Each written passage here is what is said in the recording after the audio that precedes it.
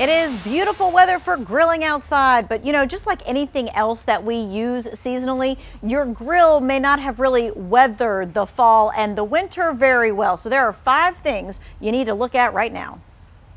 If certain parts on your gas grill are starting to go bad, it could be a real danger.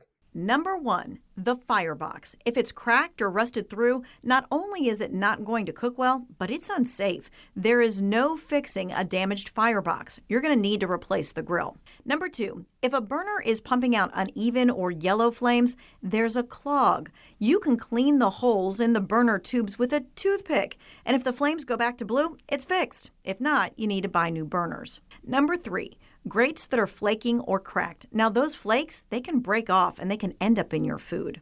Number four, cracked hoses and connectors. If you've got a leaking or cracked hose, replace it immediately. The last thing you want is a gas leak near an open flame. And finally, number five, an iffy igniter. An igniter is a part you want to replace immediately when it starts to falter because gas can build up inside the grill.